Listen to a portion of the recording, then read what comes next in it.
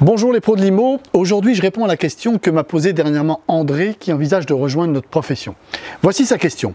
Faut-il être un grand challenger pour réussir en tant qu'agent ou mandataire immobilier? Très bonne question en effet. D'après vous, vous qui réussissez déjà, vous considérez-vous comme de véritables killers, des ninjas de l'immobilier? Je vous donne ma réponse tout de suite après la pub. Rejoignez l'équipe de Dominique. Il vous fera bénéficier de son expérience, de ses formations et des outils du réseau Ausimo. Vous toucherez 85% sur toutes vos ventes. Alors, faut-il être un véritable et grand challenger pour réussir dans notre profession? Ma réponse, André, risque de vous décevoir. Oui et non. Belle réponse de Normand, n'est-ce pas? Tiens, justement, à propos de l'expression réponse de Normand, en connaissez-vous l'origine? Non? Dommage, je la trouve intéressante. Allez, je résiste pas à vous la donner. D'après l'allemand Walter Goldschach, dans son ouvrage sur la langue française publié en 1930, cette expression viendrait d'une ancienne loi normande qui permettait à quelqu'un ayant signé un marché de s'en dédire dans les 24 heures. D'où le proverbe un Normand à son dit et son dédit. En clair, cela voulait dire qu'on ne pouvait aucunement se fier à la parole ni même à la signature d'un Normand, puisque une fois que vous aviez le dos tourné, il pouvait casser votre accord. Cela ne vous rappelle rien? Mais si, creusez-vous un peu la tête. Et si les Normands avaient inventé avant l'heure le délai SRU, le fameux droit à rétractation? Vous savez, celui qui permet à vos acquéreurs de se rétracter sans avoir à justifier d'un motif particulier et sans aucune pénalité.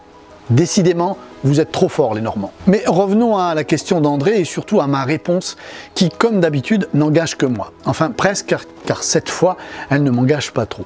Je dois vous faire une confidence. Personnellement, je n'ai jamais été un grand challenger. Je n'apprécie pas cette notion comparative de classement, de compétition, qui au final mène souvent à la rivalité le genre de situation que j'ai depuis longtemps décidé d'éviter. En revanche, et c'est en cela André que je vous ai fait une réponse de Normand, je suis extrêmement dans le challenge envers moi-même. Concernant notre métier, je reste persuadé que c'est là que le bas blesse le plus souvent. S'il ne devait y avoir qu'un prérequis pour embrasser une carrière d'indépendant en immobilier et dans ce métier, ça serait sans doute celui-là. Oui, il faut donc être un véritable challenger envers soi-même, mettre ses peurs, ses doutes de côté et toujours rester dans l'action. Savoir se dépasser, toujours aller de l'avant, ne pas se laisser décourager, résister au et savoir amortir la pression de l'ascenseur émotionnel que nous subissons régulièrement. Non, il n'est pas nécessaire de vouloir à tout prix être devant ou meilleur que les autres. Le tout est de savoir déterminer ses propres objectifs et de se donner les moyens de les atteindre. À vouloir systématiquement être plus fort que les autres, se battre contre tous, on en oublie souvent l'essentiel, la raison profonde de sa propre existence. Le risque étant de la découvrir trop tard et de devoir se dire au final si j'avais su. En conclusion, les premières questions à se poser lorsque l'on décide de rejoindre cette profession sont suis-je capable de me dépasser? Suis-je capable de travailler seul? Suis-je capable d'exiger de moi bien plus que ce que d'autres exigeraient de moi si je travaillais pour eux? En bref, suis-je capable de me challenger? Il est temps de nous quitter, on se retrouve la semaine prochaine pour une autre vidéo. Très bonne semaine à tous et merci d'avance pour vos partages. Ausimo, réseau de mandataires spécialistes en immobilier.